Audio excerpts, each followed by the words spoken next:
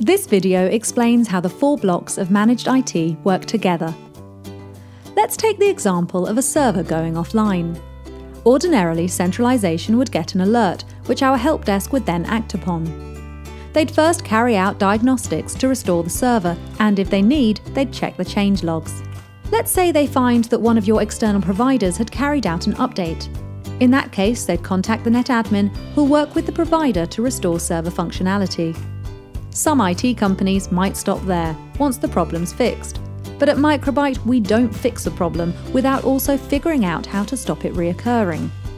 This is where your NetAdmin and Virtual IT Director discuss how to improve communication and update management.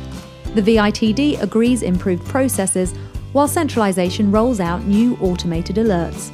So the new improved process begins again.